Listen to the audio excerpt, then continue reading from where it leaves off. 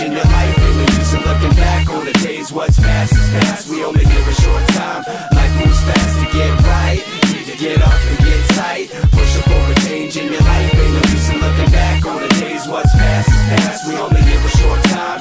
Life moves fast. Too many times we find a rewind button is non-existent To go back and make things right and fix it All the places we've been, things we done wrong. Some plan to be on the path of progression But still, sing the same old song in the rain Without dancing anymore. Trapped in the shadows from battles of self With no help or even a sense of direction. Cause you spent your last change trying to weather the pain But found out it didn't last. Now there's nothing left to put into this looking glass. To go back and learn from the past and get right right now With no excuses, so come on just listen. It's like an alcoholic claiming to be free from addiction, but still lives with a 12 pack and a second rack of the fridge itching. To open it up and pay a little visit. Pop the top, guzzle it down, and now you're back in the same spot. It comes down to your choices, be real and stop fronting. A choice could be a weapon of mass destruction, or could save your life from something that you never saw coming, like AIDS from the girl that you chose to sleep with, a death by driving home drunk on a weekend, or an overdose.